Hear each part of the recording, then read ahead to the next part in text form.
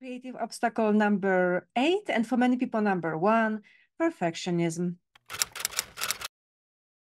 I'm Joanna, and this is the series where in 21 days I am overcoming 21 creative obstacles. The weirdest things have been happening with this video. First of all, I had to record it four times, which never happens to me anymore these days. It's just one time and I'm done. The files kept disappearing. I couldn't upload it. My computer ran out of memory. There was a force bigger than me that was trying to prove to me that my limiting belief from the past is still the truth, that I don't deliver, that I'm not consistent, and that I don't do what I promised because it was my limiting belief in the past. And in situations like this, it is, I think, the default that we push more and we try to prove to ourselves. So if something doesn't work, that we are pushing even more to just get it done. But then I recalled this was the path I already took in the past, and it only led me to burnout. And because I learned the lesson in the past, I knew that the next thing that I need to do is to let go and surrender. Now, what good does it do to surrender if the thing is still not done? The work that I did with myself yesterday helped me see that the internal change affects the external change.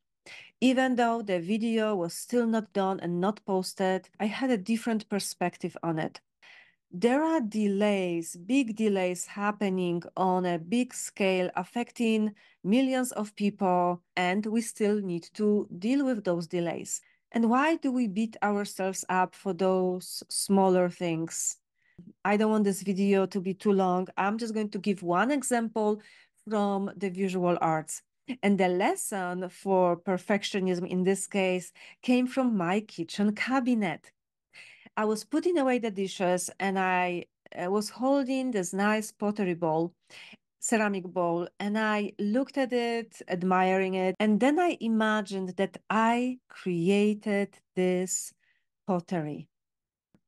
As soon as I imagined that I created it, I started finding so many things that were wrong with it. If I created it, I would not even sell it because I would be ashamed of those mistakes. But when I was a customer buying this bowl, I didn't see those mistakes. And then I shifted my lens back to the consumer, knowing that somebody else created this bowl. And again, it was perfect. This is how I would use this lesson in the future. Or actually, I already started using it in the past. I was creating a sequence of lessons and I got stuck.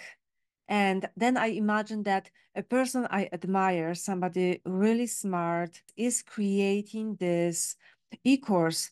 And then things immediately started going easier. So I would call this technique a first degree of separation. Brené Brown says that we believe that when we are perfect and when we do things perfectly, we will avoid judgment.